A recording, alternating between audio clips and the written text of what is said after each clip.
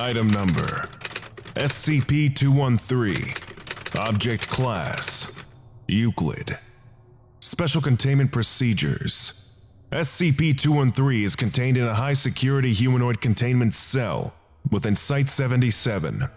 The chamber is to be surrounded by a 10 meter wide zone filled with gaseous materials corrosive to human skin.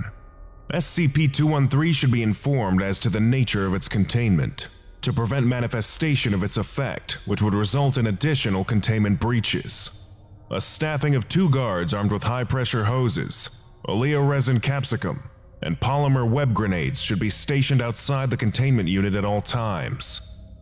Description SCP-213 is an adolescent humanoid male, 1.5 meters tall, weighing 95 kilograms.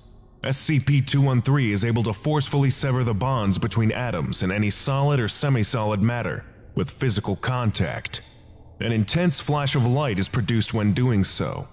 SCP-213 can use any part of its body to manifest this effect, and has used it to disintegrate projectiles as they impact its body.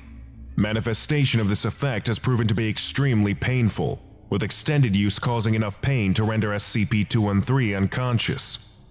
SCP-213 was recovered from Palo Alto, California, when reports of a teenage boy being arrested for homicide after vaporizing his girlfriend during coitus reached agents embedded in the local police department. Further investigation revealed SCP-213's anomalous properties. However, during initial containment, SCP-213 vaporized the agents attempting to apprehend it. During the ensuing firefight with an MTF agent, SCP-213 was able to disable two agents before being contained. SCP-213's containment procedures were finalized in 19 and classified as Euclid. Addendum 213-07 SCP-213 has made its seventh escape attempt. After asking for another interview with Dr. SCP-213 waited for security personnel to allow her to enter the containment chamber. As the majority of the containment procedures were disengaged, SCP-213 was able to apply its effect to the remaining security measures and breach containment. SCP-213 killed Doctor, as well as two agents during the initial stage of its breach. SCP-213 had only seen a small portion of the facility and was easily apprehended after it encountered heavy resistance from security. Breaking through its cell weakened it enough to prevent further damage to other containment units. SCP-213 was apprehended in the site break room attempting to break through the floor. However, extensive use of its effect left it unable to do so. Addendum 213-08 SCP-213 unintentionally breached containment in 2000 Due to the nature of this breach, no consequence has been issued. Video feed taken at 3.15 am from SCP-213's cell show its bed and a section of the floor being affected which caused SCP-213 to fall into a basement level. Containment procedures have been slated for revision. Researchers note, from the study of this video, it is clear that SCP-213's control of the effect is not as perfect as it previously believed, and it has become more cooperative with us in trying to establish a method to control and utilize it. Vague conjecture on the part of the review staff as to possibilities of what would occur should the effect trigger accidentally including SCP-213 self-vaporizing, are noted as being particularly useful in this regard. Addendum 213-09 1. During a routine physical examination of SCP-213, lesions were discovered on its back, appearing as smooth nodules. Presently, there are four nodules, placed at intervals on the subject's back in a perfect square, Distance between all four points is exactly 15 centimeters. Medical personnel have been assigned to SCP-213's containment in order to observe and rapidly respond to changes in this condition. Follow-up examinations have been scheduled. 2.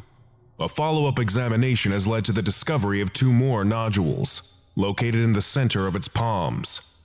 SCP-213 reports mild irritation, but no pain or discomfort. They resist pressure applied with blunt or sharp instruments. During an attempt to excise a sample using a scalpel, the scalpel failed to cut and vaporized after a few seconds of applied pressure. SCP-213 denies responsibility for this occurrence. SCP-213 has become notably more apathetic and has expressed feelings of extreme pain from its back and stomach. 3. SCP-213 was moved to intensive care after being observed having a seizure in its containment cell. Examination of SCP-213 shows an additional 10 nodules have appeared on its back. A perfect distance of 5 centimeters separates each one.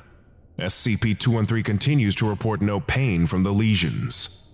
SCP-213 has been assigned additional medical observers, who will remain outside its containment with the standard guard staff for the next week. 4. All nodules on SCP-213 have disappeared and been replaced with thin incisions slightly less than 1 millimeter in width. During inspection of these new changes, the medical examiner witnessed the incision on SCP-213's left palm open, and an eye was observed watching her. SCP-213 has been placed in the medical wing indefinitely, pending further changes to the subject's condition. Addendum 213-10 the source of SCP-213's effect appears to be a parasitic infestation of unknown origin, inhabiting its body. This life form has not attempted to communicate, but does observe any persons in SCP-213's presence through the lesions present on SCP-213's body. SCP-213 has exhibited panic over this development and requested several times the entity be removed from him, any requests of this nature from SCP-213 are to be denied, pending further research. Researcher note, the organism inhabiting SCP-213 fails to show up on any medical scan we have at our disposal. The new hypothesis is that this effect actually serves to provide sustenance and self-defense, with repeated tests to determine the nature of the anomaly has led to increased growth. SCP-213 has been placed in a chemically induced coma until further research can be conducted regarding the nature of this parasite. Containment procedures slated for major revision. Lesson complete.